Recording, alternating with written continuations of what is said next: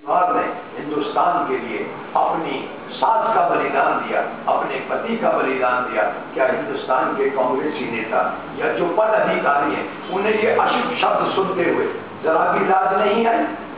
जब सोनिया जी इस्तीफा देती हैं तो पूरे हिंदुस्तान की आवाम कहती है, सोनिया जी, आप संघर्ष करें, हम आपके साथ हैं। और जब सोनिया जी पब्लिक के हित के लिए सोचती हैं तो कोई भी सोनिया जी को आगे कलंकित करके जाता है।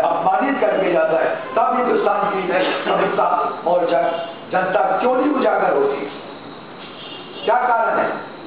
बाबा रामदेव खुलेआम कह जाते हैं, और भी कोई महात्मा, महात्माओं का यह अर्थ नहीं कि किसी भी परिवार की या अपने मुल्क की बहु बेटी को अपमानित करें।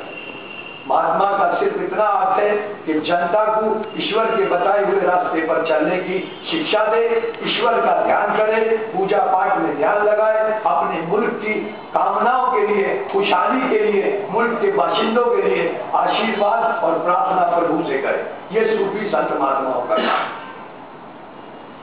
इसी विषय में हमें ये बुरा लगा कि माननीय सोनिया गांधी जी, डॉक्टर, प्रधानमंत्री मनमोहन सिंह जी के लिए भी ऐसा कुछ को बोल के आखिर वो इन सबसे बड़े हैं क्या? तब वो दरिया में रह के मगरमच्छ से बहर करना चाहते हैं, या अपने काले करतूतों पे पर्दा डालना चाहते हैं। उसे महात्मा का ही अर्थ नहीं मालूम।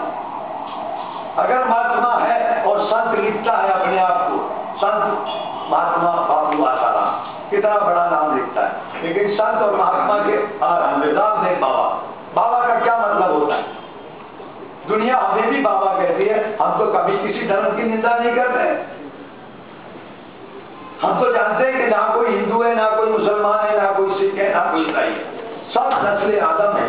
और आदम की नस्ल, आदम ने जो नस्ल बनाकर उस रब ने दुनिया में भेजी है उस सबको एक समान रखा है। सभी को दो आँखें, सभी को दो हाथ, सभी को दो पैर, सभी की दो नाक के नाथू, बत्तीस दांत, सोचने के लिए दिमाग, भूख सबको लगती है, टांगों पे सब सफ़र करते हज़रत सबकी होती है, तमन्नाएँ सबकी होती है, लेकिन पूरी उसी की होती है, जिसके साथ रब होता है।